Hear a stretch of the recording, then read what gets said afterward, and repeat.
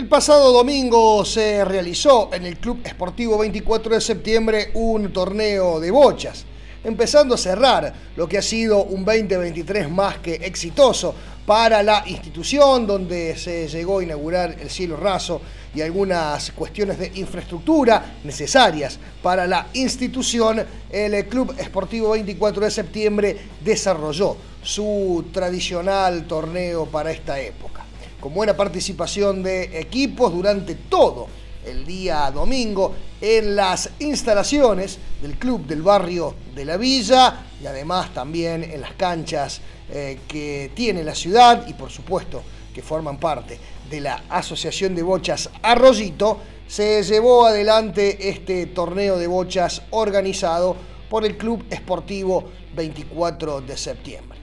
Fue buena la cantidad de equipos participantes en eh, el torneo de bochas que organizó el Club Esportivo 24 de septiembre, el último para la institución